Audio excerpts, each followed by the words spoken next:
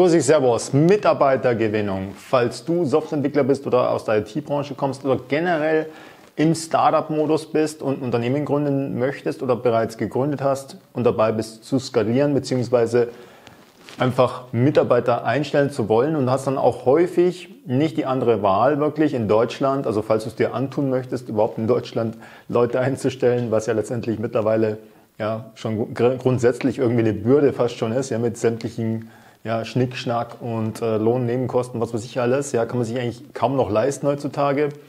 Aber wenn du das dir sozusagen antun möchtest, hier mal das eine Warnsignal, das ich dir quasi raushauen möchte, wo wir auch unsere Kunden beraten und unterstützend tätig sind, hier, wenn es darum geht, zu skalieren und über Mitarbeiter mitunter zu skalieren und du insbesondere im Startup-Modus bist und dir es eigentlich gar nicht anders leisten kannst, hier, sagen wir mal, ungelernte Kräfte einzustellen, die du dann quasi intern aufbauen kannst. Und das sind halt häufig Kräfte, sowas wie Werkstudenten und dergleichen, Minijobler, Studenten oder schon ausgelernte Studenten, die eben gerade eben am Anfang vom Berufsleben stehen. Und wir äh, sichten dann letztendlich auch gemeinsam die, die Kandidaten und helfen da, unterstützen auch unsere, und wir stellen auch selber Leute ein. Also das heißt, wir sehen dann immer die Lebensläufe, die teilweise um es mal milde auszudrücken, nicht aussagekräftig sind von doch sehr ungelernten Kräften. Häufig auch Personen, die sich auf Dinge bewerben, also quasi im IT-Bereich, ja, die in ihrem ganzen Leben noch nie irgendwas mit Software oder IT zu tun hatten. Und äh, das sind dann die sogenannten Quereinsteiger. Und die sind auch sehr interessant, denn die können unter Umständen, wenn sie sehr lernwillig sind, auch natürlich interessant sein, weil man sie sozusagen erstmal mit dem Minimumgehalt sozusagen einstellt und dann intern aufbaut.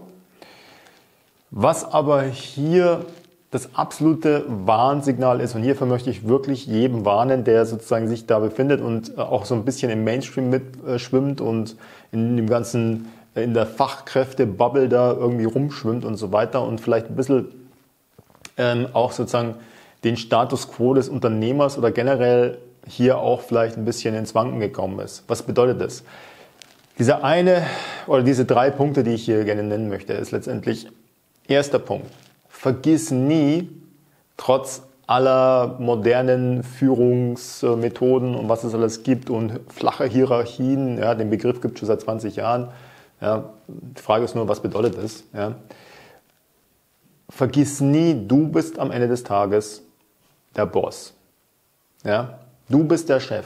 Wenn du der Inhaber bist oder der Managing Director oder der CEO oder der Geschäftsführer von der GmbH oder was auch immer für eine Firma du hast, Genossenschaft, äh, KG oder was auch immer oder Einzelkämpfer bist, ähm, Personengesellschaft, egal was du bist oder AG, du bist der Chef am Ende des Tages. Was bedeutet das? Es bedeutet nicht, dass du sagst, okay, ja, I'm the boss, I'm the king oder irgendwas, sondern was bedeut die Bedeutung dafür ist, dass du letztendlich die Verantwortung hast. Im Umkehrschluss musst du, gerade weil du die Verantwortung hast, auch für die Leute, die du einstellst, gegenüber den Leuten, die bereits von dir abhängig sind oder für dich arbeiten. Das heißt, du hast ja denen gegenüber auch Verantwortung, dass der Laden weiter gut läuft, ja, dass du nicht ins Zwang, dass du nicht irgendwie dir eine falsche Person reinholst, ja.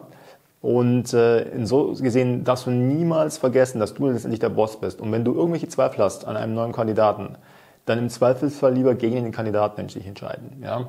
Es ist einfach viel zu großes Risiko, dass du dir irgendwie einen faulen Apfel in, in den Korb legst und dann alle anderen Äpfel darunter leiden müssen. Okay, das zweite ist wirklich ein fettes Achtung, Achtung Zeichen, ja, Warnsignal. Wir haben ja unsere Standard-Procedures, äh, wo wir quasi Recruiting machen, also Telefongespräch, 5 Minuten, dann 15 Minuten Zoom-Call, dann äh, eventuell zweiter, je nachdem, welche Stelle es ist, dann nochmal zweiter Zoom-Call, der geht dann länger und dann vor Ort Schnuppertag und dann Angebot und so weiter und dann Einstellung und dann Probezeit. Und wenn jemand schon im ersten Anruf, also wir, wir haben einen Lebenslauf erhalten, wir rufen ihn an, fünf Minuten, vereinbaren den Zoom-Call. Der Grund, warum wir das nicht nur rein per E-Mail machen, ist, weil wir einfach wissen wollen, wie die Stimme ist. Ne? Weil wir machen auch sehr viel mit Telefonakquise und so weiter. Und generell, ja. Kannst schon, selbst ohne Zoom, schon beim Telefonat, insbesondere wenn du halt ein gelernter äh, Telemarketer bist, ähm, ja, dann ähm, kannst du da sehr viel rauslesen aus der Person. Die Dynamik der Stimme, ist sie hektisch, ist sie nervös, ist sie, ist sie milde, ist sie aggressiv, ist sie leck mich am Arsch oder was auch immer. Ja, da kann man schon sehr viel rauslesen. Generell die Einstellung. Und wenn du bereits in diesen ersten fünf Minuten, also du hast noch nicht mal den ersten Zoom-Call, das First Interview, was wir so nennen bei uns standardgemäß, also dieses erste kleine Kennenlerngespräch, noch nicht mal vereinbart. Und es wird sozusagen schon das Gehalt oder die Bezahlung, ja, oder der Stundenlohn oder was auch immer, also quasi das Geld in den Vordergrund gestellt und eventuell hier schon quasi eine Diskussion begonnen, ja, ähm, auf der Stellenanzeige ist doch überhaupt gar keine ähm, äh, gar kein Gehalt äh, ähm, ausgeschrieben und was ist denn jetzt letztendlich die, das Gehalt, was ihr zahlt und äh, ich kann mir das, ich kann das jetzt gerade nicht nachvollziehen, äh, wie viel ist es denn und wie viel ist es denn und wie viel ist es denn. Also da ist quasi rein nur das Geld im Vordergrund. Es geht also gar nicht darum, ja, ähm, sich für dich, äh, dass er sich wirklich für dein Unternehmen interessiert, für das, was dein Produkt, deine Services, deine Vision, deine Mission. Ja, es geht letztendlich nur Gehalt, Gehalt, Gehalt. Das ist schon mal das erste große Warnsignal, ja, ähm, wo du eigentlich fast schon sagen kannst, okay, pff, wenn jemand nur fürs Geld für mich arbeitet, dann muss er schon wirklich im Sales extrem gut sein. Äh, für alle anderen Positionen wird schwierig, ja, weil die Person einfach nicht intrinsisch motiviert ist. Die, die, die braucht einfach gerade nur Geld und das hat letztendlich in der Regel jemand, der nur gerade Geld braucht und unbedingt nötig Geld hat, der hat in der Regel auch nicht wirklich gute Skills oder auch nicht sagen wir, generell andere, das hat seinen Grund, ja, wenn jemand knapp bei Kasse ist oder irgendwelche Geldprobleme hat. Also es ist generell schon mal ein, ein in der Regel nicht zu empfehlende ähm, Maßnahme, sich jemanden reinzuholen ins Team, der Geldnöte hat, weil das häufig auch Auswirkungen auf die Stimmungslage hat oder generell negative Auswirkungen hat generell. Es kann ein sehr starker Motivator sein auch, ja, kommt immer individuell auf die Situation drauf an. Aber wenn jemand, selbst wenn jemand Geldnöte hat, und ich war ja auch mal ursprünglich, war ja auch mal verschuldet und alles Mögliche und ich hatte auch mal, äh, stand auch mal finanziell mit dem Rücken zu Wand. Das ist schon ein paar Jahrzehnte her, aber, aber dann habe ich auch letztendlich nicht quasi die ersten fünf Minuten mit dem Geschäftsführer damit verbracht, ja, im, im erst äh, Telefoninterview, ja, hier äh, übers Geld rum zu, zu labern die ganze Zeit, ja, sondern es ging erstmal darum, es geht erst einmal darum, dass ich mich überhaupt für den Arbeitgeber interessant mache, ja, dass ich überhaupt mal das, überhaupt mal die Gelegenheit bekomme, First Interview überhaupt mal, überhaupt mal Gesicht face to face, den, den, den Unternehmer, den, den, den Geschäft überhaupt mal kennenlernen zu dürfen, ja. Ja, und äh, da fange ich hier keine Diskussion über das Gehalt an. Ja, sorry.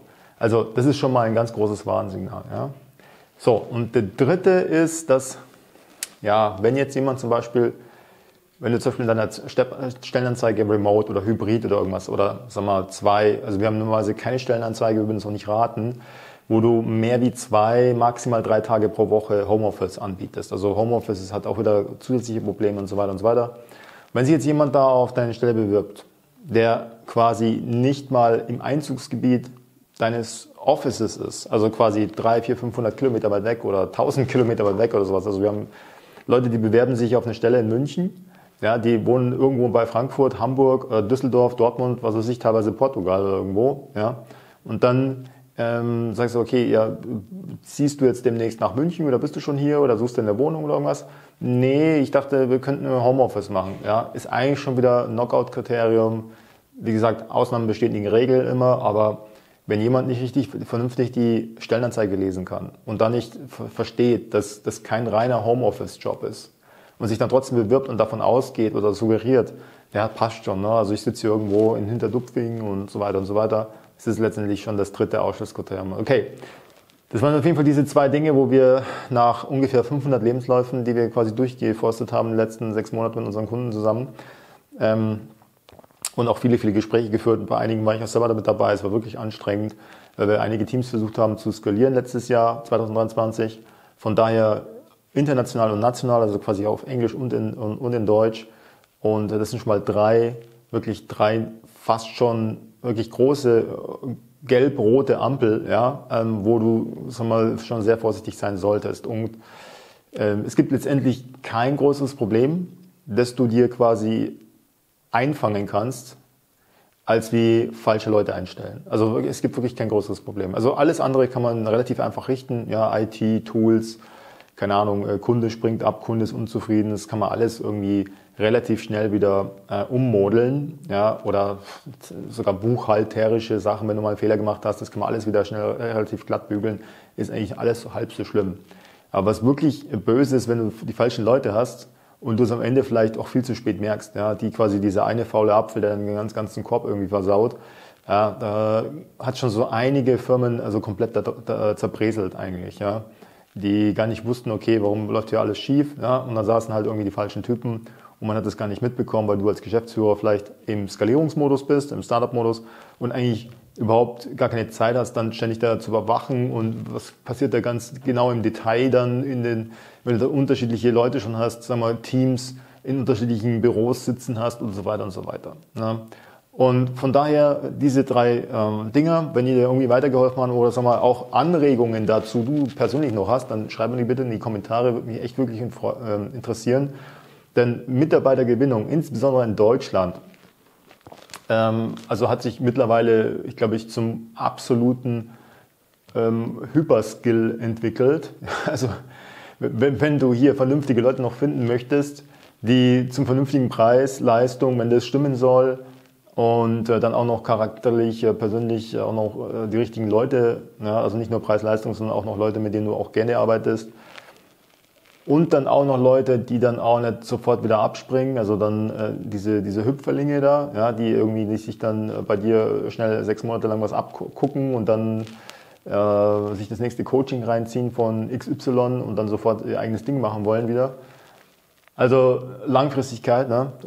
dass es quasi langfristiges Investment ist ähm, und keine kurzfristige Spekulation, ja? also so mal eben kurz Daytrading oder sowas ja, ähm, sondern ein Depot, das sich quasi hochskaliert und Zinseszinsen dann auch irgendwann abwirft, weil am Anfang musst du immer irgendwie reinstecken und ausbilden und so weiter in der Regel. Also wenn du das haben, das ist schon wirklich, wirklich schwierig, weil der, sagen wir, der, der Invest und auch das, mh, mm, der, der Vorschuss, den du als Unternehmer in Deutschland mittlerweile leisten musst, aufgrund der Lohnnebenkosten, der Mindestlöhne und alles Mögliche. Ich meine, hol dir mal Vollzeit irgendwie in Stunden, äh, in, in, in, in, Werkstudenten, Vollzeit für, äh, für nur einen Monat, ja, sag mal in den, in den Sommerferien oder sowas, und äh, der eigentlich nichts kann, dem du aber trotzdem irgendwie 13 Euro zahlen musst, ja, dann bist du schon mal bei mit Nebenkosten und Rente und was weiß ich, was dann noch anfällt, ja, irgendwie bei zweieinhalbtausend Euro. Ja, also das ist in manchen anderen Ländern, die an an, den, an, an Dach angrenzen, ja, dann kriegst du dafür, dafür eine, eine, eine, Vollzeitkraft, die mit zehn Jahren Berufserfahrung. Ja. Und das ist ja auch einer der Gründe, warum ähm, schon seit langem ja, alle großen Konzerne ständig auslagern, ständig auslagern, auslagern, auslagern ja, und Stellen hier, wie sie alle heißen, ja, abbauen, beziehungsweise keine neuen Leute mehr einstellen. Ja. Ich nenne jetzt ja keine Namen diesbezüglich, kannst ja gerne mal selber googeln oder die Nachrichten schauen. Und das sind natürlich eine, eine der vielen Gründe. Aber vielleicht, dass wir doch irgendwie, also wir versuchen es doch mal wieder, dass wir auch schauen, dass wir Glück haben und einen coolen äh, Mitarbeiter finden, ähm, der mit uns eben hier äh, in München ähm, skaliert oder, oder jeweils halt bei unseren Kunden, wo auch immer die sind. Wir haben ja Kunden auch in Berlin und äh, Nähe Freiburg und andere Städte. Und äh, ja, dann bis zum nächsten Mal, dein Thomas Klein und hau mir deine Meinung da mal rein. Es würde mich wirklich interessieren, welche Erfahrungen du mit Mitarbeitergewinnung hast. Hast du schon mal Mitarbeiter eingestellt? Hast du schon mal welche interviewt? Ja. Ähm, gib mir da mal richtig mal Saures. Oder habe ich jetzt hier einfach nur lauter Mist erzählt? Kannst du mir auch gerne unten reinschreiben. Ja, ich weiß natürlich, dass ich keinen Mist erzählt habe, aber ja, also es gibt ja auch Kritiker. Also gerne auch einen Kommentar reinlassen. Also bin dir echt dankbar wenn du mir mal dein Feedback gibst. Ansonsten kannst du auch gerne bei uns einen Termin buchen. Da können wir mal ganz vertraulich auch mal für eine halbe Stunde quatschen, ja, über Teams. Und dann sehen wir uns auf der anderen Seite hoffentlich. Bis dahin, dein Thomas Klein. Ciao.